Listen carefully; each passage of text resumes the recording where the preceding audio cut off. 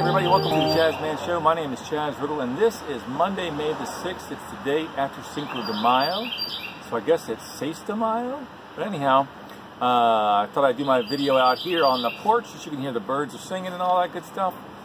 Well, let's go over the weekend box office, and then I've got a fan theory. It's my theory, actually, about the Soul Stone, which might be controversial, or you might get a kick out of. I don't know. Anyhow, starting with the fact that uh, in first position, no uh, big, uh, no big surprise. Uh, Endgame, Avengers Endgame, finished in the number one spot with 100 and uh, oh my goodness, here 145.8 million dollars in its second week. It did drop 59 points, point uh, to 59.2 percent, but that's no real surprise. most things do drop a little bit on the second week, but the big thing is, is that now here's the big number. Okay, Titanic came out in 1997 and was in the number two position behind Avatar. It had a worldwide gross of 2.187 billion dollars. Well, Endgame right now is sitting at 2.188 billion dollars. So it just passed Titanic. So James Cameron now is still in number one position with Avatar because it came out in 1996 let's see, uh, 2009, and it still has the worldwide with uh, 2.7 billion dollars. But on its heels, only after only two weekends now, Endgame is at 2. Uh, what would we say? 2.187. So it's just a matter of time if it can continue its role like it has been. It's showing right now in over 4,000 theaters, and I saw yesterday morning at 8 a.m. they were actually uh, movie times. Uh, I live in Columbia here, and uh, they were movie times over at the mall at 8 a.m. for Endgame, and it was just pretty much round the clock until about uh, I think 11:30 was the last showing last night, and the first showing this morning was 10 o'clock. So I mean, we have another big week for Endgame. However, uh, this weekend coming up, you know, you've got Detective Pikachu coming around the corner. And so you've got a little bit of competition that's going to draw away from Endgame. But still, you know, as much as Endgame is done, it had you take things into consideration, okay? James Cameron put out uh, Titanic in 2009, and it's held at number one position. Now that was a very unique movie. It wasn't part of uh, uh, any other thing that had been produced before. It's a one and done type thing, even though there are sequels in the works right now, and uh, we'll find out uh, about those December of 2020 when uh, James Cameron releases Avatar 2. At least that's what the last thing I read. It might be, it might change. You never know what Cameron's going to do, what the distributorship's going to do, but that's what I saw. But anyhow, as strong as Marvel is right now, they it took them a culmination of 11 years and 22 movies to get into that number one spot with Endgame. Now it crushed the box office last week with $357 million opening. It beat its uh, predecessor, Avengers Infinity War, by $100 million. That's a lot of cheese. That's a lot of cheddar cheese, according to Peter Quill. Yeah, but that's not why we do it, said Gamora.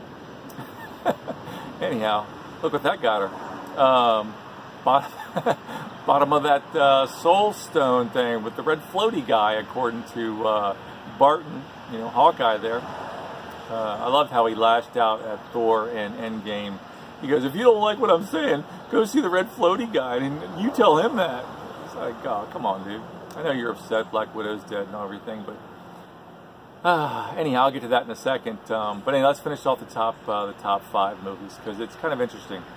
You had three newcomers out there this week, but they still did not uh, do uh, very well considering they're up against Endgame. Um, okay, so in the top five. Endgame, $145.8 million in its second week. again, it had a drop of 59.2% from last week, which was, it's still gangbusters. It's still kicking butt out there. But we had the new one out there, The Intruder, which brought in $11 million. That's with Dennis Quaid.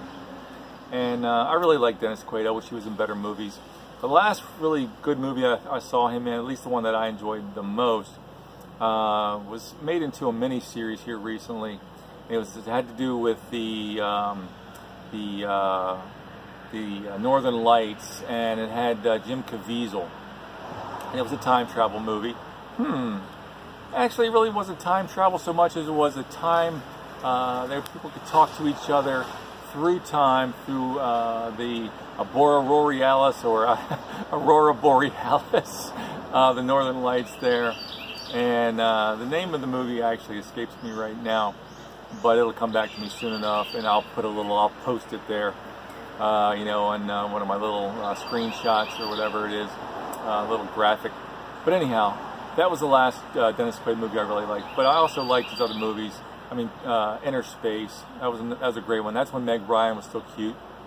Remember that? Her and him and uh, Martin Short. But anyhow, I digress. Okay, uh, back to the uh, top five. Long Shot, which is the rom-com with uh, Charlize uh, Theron, and everybody says her last name wrong. But I watched her in an interview one time, and she says, "My name is Theron." kind of like Sharon. It rhymes with Sharon, so that's how you pronounce my last name. It's Theron. So anyhow, Charlize Theron. Uh, they brought, they came into the number three position. Um, that was uh, ten million dollars, and that's with Seth. Seth, uh, what the hell is his last name? I don't know. The, the guy with the burly laugh. Seth Rogen. Okay, so that's number three position. Ugly Dolls, which is the animated movie, has uh, the voices of uh, Blake and uh, Kelly from The Voice, which is kind of uh, coincidental, or is it ironic? No, it's coincidental. Um, but that's uh, an animated tale that came in with $8.5 million. And then Captain Marvel, still in the top five this week with $4.2 million. Kind of cashing in on that Marvel wave, and I think that's pretty awesome. You know, um, it's also in the billion dollar club. Um, and just want to give a shout uh, real quick to number eight position is Shazam with $2.4 million this weekend, uh, domestically now at $135 million, and worldwide $355 million. So anyhow, there you go. Uh, Endgame came out on April 26th. It's been out for two weeks. It's at uh, the number two position worldwide of all movies out there right now, just behind Avatar.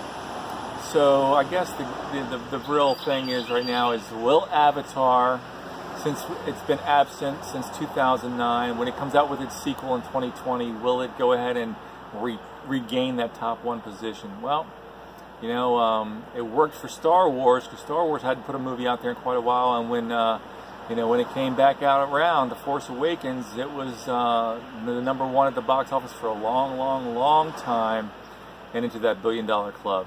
So, so sometimes the absence does make the heart grow fonder. But anyhow onto my fan theory. Okay.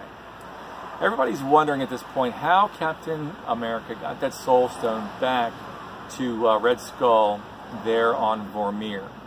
Well, here's my theory, because everybody thinks that Steve went back in time and they uh, they showed that that uh, last scene where he's dancing with he finally gets his wonderful dance with Peggy Carter. Well, here's the thing. What happens? Here's my here's my stinking thinking. Maybe Maybe Peggy Carter was a real witch to live with. Maybe after all those years of pining for her, I mean, this was the first girlfriend Steve Rogers ever had. Maybe it turns out she wasn't such a nice person. I mean, the first time we meet her, she punches that guy in the jaw there when he's standing on line there at, uh, at Camp Lehigh uh, during basic training. You know, and if it wasn't for Tommy Lee Jones snapping her into place, she, she might have hit him again. Who knows? And then she gets pissed off at Steve, and uh, he picks up his shield after he becomes Captain America, and he goes, hey, how's his shield look? And she shoots at him. She drops like four or five rounds into his shield. Thank goodness it's made of vibranium, so it didn't, you know, it didn't bounce off and kill him. But maybe she's a real bitch to live with, you know. So here's my theory. So let's say that, um, okay, Steve went back in time, hooked up with Peggy Carter, found out she really wasn't worth, you know, it's better to keep her in the idealized state rather than to actually live with her. But he did have five years, five years after the snapping, that he was going back to Avengers compound, and who did he see there? Who was there? Yep, the Black Widow, right? Now he already had two years on the land with her. He was living, uh, who knows where, Wakanda, or, or uh, according to, um, according to uh, Sam, uh, you know, he said uh, they weren't staying in the you know, not all the places they stayed in after Civil War were five-star hotels. So as far as we know, And then, of course, you know, when Bruce comes out from uh, back of the uh, lab there uh, in the beginning of Infinity War, he says, hey, I'm back. And then, you know, of course, uh, Sam looks at uh, Vision and Wanda and goes, well, this is awkward. Hmm, does Sam let us know that maybe Captain Rogers and Black Widow were hooking up for those two years? And then additional five years after the snapping? You know, I mean, that makes more sense. I mean, he only had a few months with Peggy Carter as, uh, you know, you know, basic training and then going off to war, you know, after becoming Captain America and getting the super serum and all that good stuff. And then he went down on the ice in 45. But, uh, you know, pining for somebody and actually being with them is two different things. Sometimes it's better to keep somebody in that, uh, on that perch, you know, that idealized state.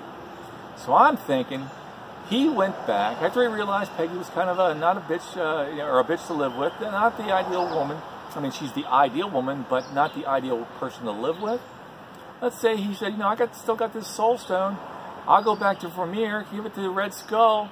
He'll bring, um, you know, soul for a soul. He'll bring Black Widow back to life, and we'll live that happy life. Because when Sam asked him at the end of uh, Endgame, um, you know, after he sees the, the wedding ring, you want to tell me about the girl? And uh, Captain Rogers is like, no, I don't think I will. So, was it that storybook ending that everybody thinks about? My theory is no. I think he hooked up with Black Widow for two years after Civil War, then I think he hooked up with her for another five years after the snapping. And when he realized Peggy Carter was a bitch, he says, hey, you know what, Red Floaty guy, here's the Soul Stone, bring back Black Widow, boom, slam, bam. And he hooked up with her, and he didn't tell anybody about it. Okay? Because we know that Black Widow comes back to life, right? There's already a movie. They're starting filming that next next month. So, which Black Widow is it? Now I know that's kind of a far-fetched theory, but it's also a theory based on you know having relationships and you know dealing with people. Sometimes uh, having that idol up in there in your crosshairs uh, is one thing, but living with them is another. Okay. Take it from people that have lived with me. I'm not the easiest guy to get along with. So anyhow, that's that's my theory about Black Widow and Captain America. And for what it's worth, that might get you that and a couple bucks to give you a, get you a cup of coffee at Starbucks. But anyhow, guys, uh, this is my video for the week, uh, May the 6th. I hope you enjoyed it. Uh, as always, please leave a like or a comment or a question at the bottom there. Uh, you know, let me let me know what you're thinking about my theory and uh, get back to me, and I'll or leave a comment. And I'll get back to you. I promise. Let's build this readership up, guys. Okay, and thanks again for everybody that watched my video last time on the um, the spoiler uh, review of uh, Avengers because that got uh, over hundred likes, and I thought that was pretty damn good. So uh, at one point in uh, the next few years, a thousand likes will be the goal on a daily basis and then 10,000 likes on a daily basis. But that's, you know, we got to start somewhere, guys. So thanks for sticking with me. Hit that uh, button right now so you like this video, subscribe, and uh, ring that bell uh, so that uh, you'll get all the alerts from future videos. Now, I will be going off to New York in a couple of days for a few days on a, a TV show, but I'll try to do a video from there. I won't, uh, I won't allude or I won't tell you where I am because I'm not allowed to. But I will be posting a video if I get the chance, and hopefully I will. So anyhow, guys, you have a great day, have a great week. Enjoy this wonderful weather out here. It's fantastic. You can hear the traffic flowing, blowing, uh, flowing by my house. And uh, hey, I kept the red theme in the background, so that's kind of cool. You gotta, you gotta stay consistent. Anyhow, guys, have a great day. We'll see you next time. Bye bye.